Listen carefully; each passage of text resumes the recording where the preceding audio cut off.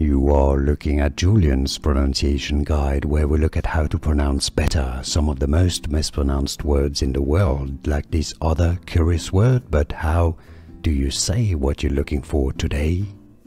We are looking at how to pronounce these names as well as how to say more interesting but often confusing names from science, so make sure to stay tuned to the channel from biology.